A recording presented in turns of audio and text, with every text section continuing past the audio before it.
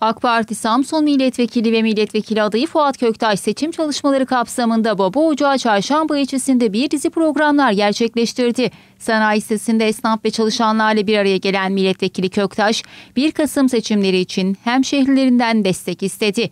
Samsun eski milletvekili Ahmet Yeni, Çarşamba Belediye Başkanı Hüseyin Dündar, ilçe başkanı Halit Doğan ve ilçe teşkilat üyelerinin katılımıyla Çarşamba Sanayi sitesinde esnaflar ve çalışanlarla sabah kahvaltısında buluşan milletvekili Köktaş, 13 yıldır ülke genelinde birçok hizmete imza atan AK Parti iktidarlarının sağladığı istikrarın, huzurun ve refahın devam etmesi için 1 Kasım seçimleri çok önemli diye konuştu. Milletvekili Köktaş, 7 Haziran seçimleri öncesi ve sonrasında Türkiye'de AK Parti iktidarla yakalanan güven ve istikrar ortamının bozulması için sanki bir takım eller işbirliği etmişçesine ülke üzerinde oyunlar oynamaya başladılar.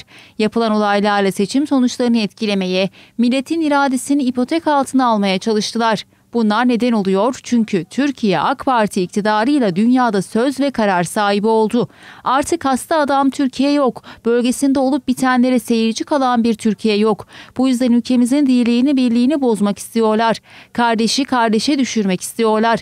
Geçmişte bunları yaptılar. Türkiye'de yaşanan bu olaylar yüzünden yılları heba oldu. Bugün şükürler olsun ki Türkiye kendi insansız hava aracını, roketini, uydusunu, tankını ve uçağını yaptı yapmaya devam ediyor. İşte 1 Kasım Kasım seçimleri işbirliği yaparak ülkemiz üzerinde oyun oynayanlara karşı cevap verilecek gün olacaktır dedi.